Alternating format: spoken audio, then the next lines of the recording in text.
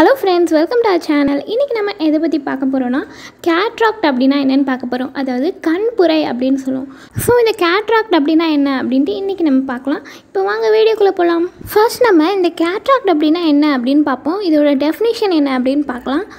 The term cataract refers to development of any opacity in the lens or lens capsule. அதாவது நம்ம கண்ணுக்குள்ளே இருக்கிற lens அதாவது crystalline lens அப்படின்னு சொல்லுவோம். ஸோ இந்த கிறிஸ்டலின் லென்ஸ் வந்து ரொம்பவே கிறிஸ்டல் கிளியராக இருக்கும். இதில் என்ன இருக்கும் அப்படின்னு பார்த்தீங்கன்னா இதோட காம்போசிஷன் வந்து வாட்டர் அண்ட் ப்ரோட்டீன்ஸ் அதால் தான் இந்த கிறிஸ்டலின் லென்ஸ் வந்து உருவாகியிருக்கு. ஸோ இந்த லென்ஸில் எப்போ வந்து க்ளவுடியாக அதுக்கப்புறம் ஃபுல்லாக வந்து ஒப்பேக்காக மாற ஆரம்பிக்குதோ இந்த லென்ஸ் வந்து எப்போ வந்து டிரான்ஸ்பரண்ட்டாக இருந்த லென்ஸ் ஒப்பேக்காக மாறுதோ அந்த டைமில் ஒருத்தருக்கு கேட்ராக்ட் உருவாகும்.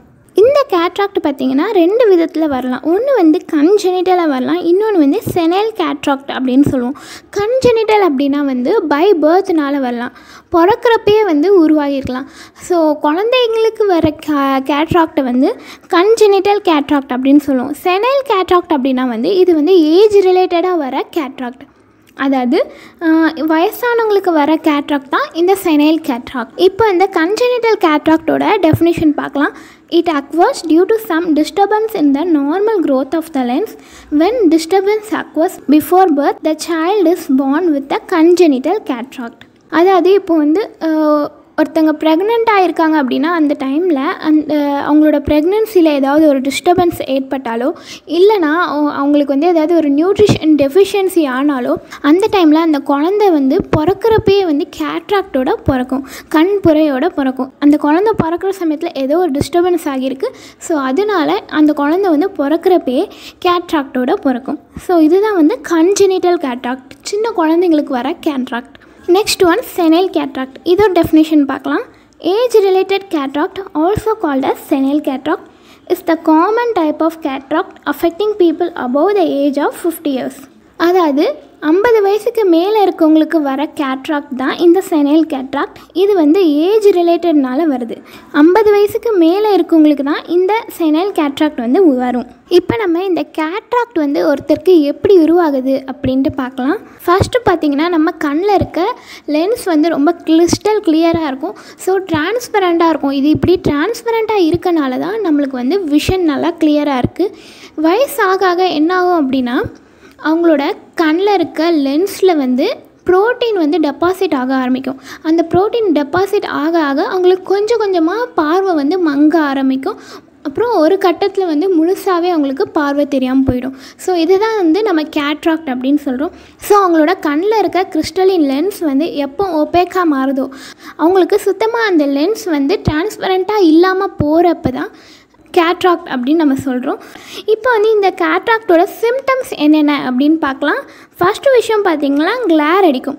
இப்போ ஏதாவது ஒரு பொருள் பார்க்குறாங்க அப்படின்னா உங்களுக்கு ரொம்ப கிளாராக தெரியும். அதுக்கப்புறம் இமேஜ் வந்து ரொம்ப பிளராக தெரியும். எல்லா இமேஜுமே வந்து இப்போ பார்க்குறாங்க அப்படின்னா ரொம்ப மங்கலாக தெரியும். அதுக்கப்புறம் மிஸ்டு விஷன் அப்படின்னு சொல்லலாம். அப்புறம் ஃபாகி விஷன் அப்படின்னு சொல்லலாம். எல்லாமே வந்து அவங்களுக்கு பார்க்குறப்ப ஒரு மாதிரி மேகமூட்டத்தில் பார்க்குற மாதிரி இருக்கும். ஃபுல்லாகவே வந்து க்ளவுடியாக தெரிகிற மாதிரி இருக்கலாம். அதுக்கப்புறம் யூனியாக்குலர் டிப்ளோப்பியா இதுவும் வந்து சில பேஷண்ட்ஸுக்கு வரும். யூனியாக்குலர் டிப்ளோப்பியானா அவங்களுக்கு வந்து ஒரு கண்ணிலே வந்து டபுள் விஷன் இருக்கும். ஒரு கண்ணிலே அவங்களுக்கு ரெண்டு பார்வை தெரிகிற மாதிரி இருக்கும். ஸோ அதுவும் வந்து ஒரு சிம்டம் அதுக்கப்புறம் லாஸ்ட்டாக வந்து சென்சிட்டிவிட்டி டு லைட் அதாவது இப்போ வந்து லைட்டு பார்க்குறாங்க ரொம்ப வெளிச்சமாக இருக்க இடத்துக்கு போகிறாங்க அப்படின்னா அவங்களுக்கு ரொம்பவே கண்ணு கூசுகிற மாதிரி இருக்கும். ஸோ இதுவும் வந்து ஒரு சிம்டம் இந்த சிம்டம்ஸ்லாம் இருந்துச்சுன்னா அவங்களுக்கு கேட்ராக்ட் இருக்குது அப்படின்னு நம்ம சந்தேகப்படலாம். இப்போ நம்ம இந்த கேட்ராக்ட் ஒருத்தருக்கு வந்திருக்கு அப்படின்னு நம்மளுக்கு தெரிஞ்சிச்சு. சரி இதை எப்படி நம்ம சரி பண்ண முடியும்? இதோட ட்ரீட்மெண்ட் என்ன அப்படின்ட்டு பார்க்கலாம். இதோட பெஸ்ட்டு ட்ரீட்மெண்ட்னு பார்த்தீங்கன்னா சர்ஜிக்கல் ட்ரீட்மெண்ட் சர்ஜரி பண்ணி சரி பண்ணுறது தான் இருக்கிறதுலே ஒரு பெஸ்ட்டான ஒரு ட்ரீட்மெண்ட் ஏன்னா மற்ற ட்ரீட்மெண்ட் எல்லாமே வந்து டெம்பரவரியாக தான் அவங்களுக்கு ரிலீஃப் கொடுக்கும். ஆனால் மொத்தமாகவே சர்ஜரி பண்ணி எடுத்துட்டாங்க அப்படின்னா அவங்களுக்கு கிளியரான விஷன் கிடைக்கலாம். இந்த கேட்ராக்டுக்கு என்ன விதமான சர்ஜரி பண்ணுவாங்க அப்படின்னா பேக்கோ எமில்ஃபிகேஷன் அப்படின்ற ஒரு சர்ஜரி பண்ணுவாங்க. சரி இப்போ அந்த சர்ஜரி எப்படி பண்ணலாம் அப்படின்ட்டு பார்ப்போம். Process of cataract surgery first என்ன பண்ணுவாங்க அப்படின்னா அந்த பேஷண்ட்டுக்கு வந்து பெயின்லெஸ்ஸாக இருக்கணும். வலி தெரியக்கூடாது அப்படின்றக்காக அவங்களுக்கு அனஸ்தெட்டிக் பண்ணுறக்காக அனஸ்தெட்டிக் ட்ராப்ஸ் வந்து போடுவாங்க. ஸோ அவங்களுக்கு வந்து ஃபுல்லாக மறுத்து போயிடும் கண் வந்து ஃபுல்லாக மறுத்து போனனால அவங்களுக்கு எதுவுமே தெரியாது. பெயினே இருக்காது. அதுக்கப்புறம் செகண்ட் வந்து என்ன பண்ணுவாங்க அப்படின்னா டயலேட்டிங் ட்ராப்ஸ் போடுவாங்க. டயலேட் ட்ராப்ஸ் போடுறப்ப என்ன ஆகும் அப்படின்னா அந்த ட்ராப்ஸ் வந்து பியூப்பியில் நல்லா விரிய வைக்கும் ஸோ அந்த பியூப்பிள் நல்லா விரிஞ்ச உடனே அவங்களுக்கு வந்து பார்க்குறக்கு ஈஸியாக தெரியும். எந்த இடத்துல நம்ம எடுக்கணும் அப்படின்ட்டு அவங்களுக்கு கரெக்டாக தெரியும். ஸோ அதுக்காக டயலட்டிங் ட்ராப்ஸ் போடுவாங்க. அதுக்கப்புறம் என்ன பண்ணுவாங்கன்னா கார்னியாவில் வந்து இந்த மாதிரி மூணு இடத்துல வந்து லைட்டாக கட் பண்ணுவாங்க. இந்த கட் பண்ணிவிட்டு என்ன பண்ணுவாங்கன்னா ஒரு சின்ன இன்ஸ்ட்ருமெண்ட் மாதிரி இருக்கும். ஸோ அந்த இன்ஸ்ட்ருமெண்ட் வச்சு எந்த இடத்துல கேட்ராக்ட் ஃபார்ம் ஆகிருக்கோ லென்ஸுக்கு உள்ள லென்ஸ் கேப்சியலுக்கு உள்ளே இருக்க இடத்துல அந்த இடத்துல வந்து இந்த சின்ன இன்ஸ்ட்ருமெண்ட்டை வச்சு ஃபார்ம் ஆகியிருக்க கேட்ராக்டை வந்து குட்டி குட்டியாக கட் பண்ணுவாங்க. அதை வந்து உடைப்பாங்க. ஏன்னா ஃபுல்லாக இருந்தால் வந்து நம்மளால் எடுக்க முடியாது. அதனால குட்டி குட்டி சின்ன சின்ன பீசஸாக கட் பண்ணுவாங்க.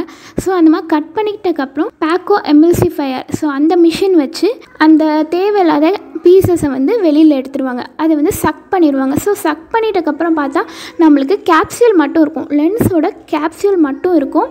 அந்த உள்ளே இருக்கிற நியூக்ளியஸ் எல்லாமே வந்து எடுத்துருவோமா? ஸோ அப்போ என்ன பண்ணுவாங்க அப்படின்னா ஐயோவல் வந்து உள்ளே இம்ப்ளான்ட் பண்ணுவாங்க. ஐயோவல்னால் என்னென்னா இன்ட்ராகுலர் லென்ஸ் அப்படின்னு சொல்லுவோம்.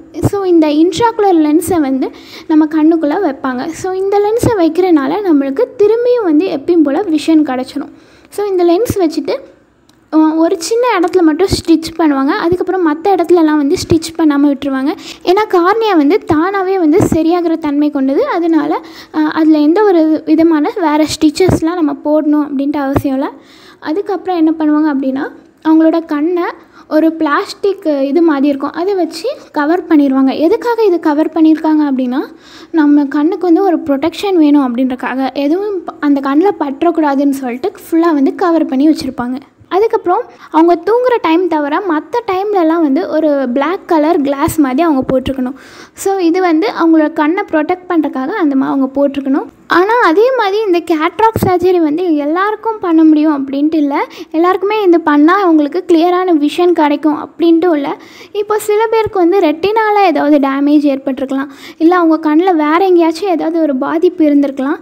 ஸோ அதனால ஃபஸ்ட்டு வந்து அவங்களுக்கு கண்ணில் எல்லாமே வந்து நல்லா இருக்கா அப்படின்னு செக் பண்ணிட்டக்கு அப்புறம் தான் இந்த கேட்ராக் சர்ஜரி வந்து பண்ணுவாங்க. அவங்களுக்கு இந்த கேட்ராக் சர்ஜரி பண்ணால் விஷன் வருமா அப்படின்னு செக் பண்ணிட்டக்கு அப்புறம் தான் வந்து இந்த கேட்ராக் சர்ஜரி பண்ணுவாங்க.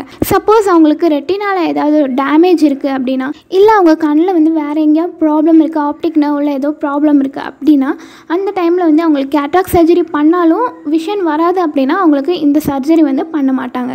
ஓகே ஃப்ரெண்ட்ஸ் இதான் இன்னைக்குரிய வீடியோ இந்த வீடியோ உங்களுக்கு பிடிச்சிருக்கும் அப்படின்னு நினைக்கிறேன். கேட்ராக்டை பற்றி நிறைய விஷயம் நீங்கள் தெரிஞ்சிருப்பீங்க அப்படின்னு நினைக்கிறேன். இந்த வீடியோ உங்களுக்கு பிடிச்சிருந்துச்சுன்னா லைக் பண்ணுங்கள் இன்னும் நீங்கள் நம்மளோட சேனலை சப்ஸ்கிரைப் பண்ணாமல் இருந்தால் மறக்காமல் சப்ஸ்கிரைப் பண்ணிக்கோங்க. Thank you bye